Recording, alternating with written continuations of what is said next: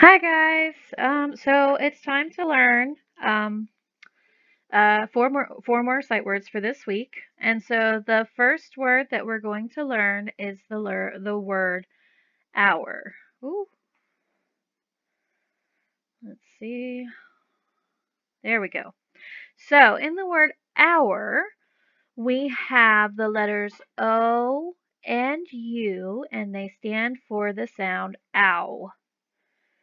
And then we have the letter R, which stands for the R sound. So I want you to um, use your choppers, chop the sounds, and then blend them together. We have ow, ow, er, our.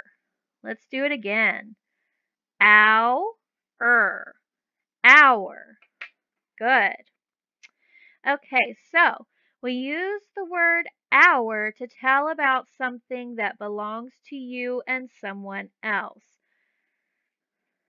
So, we have a group of students. We have one, two, three, four, five, six.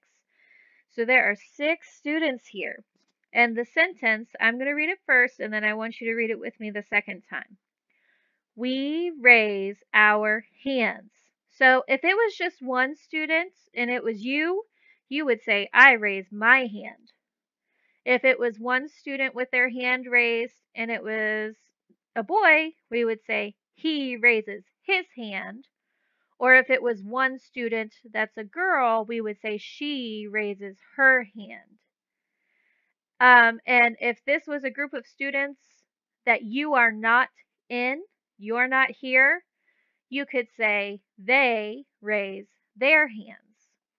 But if it's a group of students and you are part of that group of students, you would say, we raise our hands because they belong to you and someone else. So let's read the sentence together. We raise our hands. Good. And then we have an activity down here. So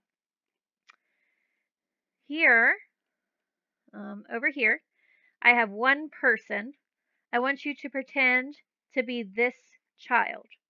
I know some of you are girls and this is a boy, but just pretend to be him for a little bit.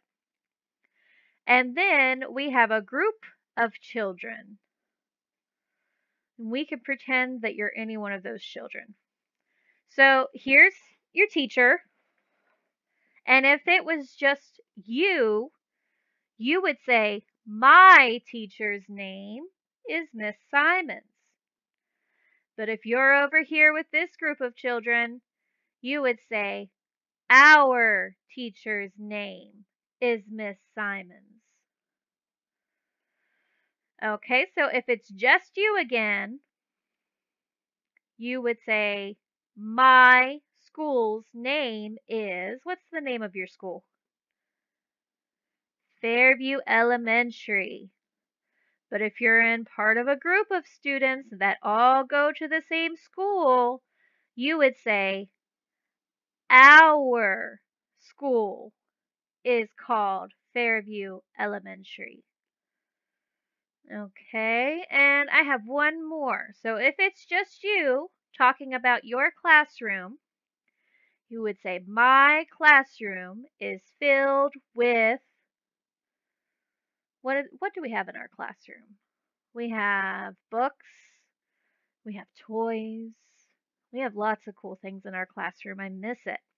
Okay, so, but if you're over here with this group of children and you all go to the same classroom, you would say, Our classroom is filled with toys, maybe? Books? Crayons?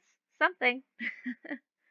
okay, so let's come back over here. I'm going to, um, I'll do it once with you. We'll make the sounds, we'll chop it with our hands, and then blend it, okay? Our, our. Okay, now you do it one more time all on your own. All right, great job, guys.